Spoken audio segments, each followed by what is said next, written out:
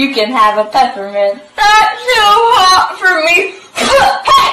I don't like the peppermint. You don't like the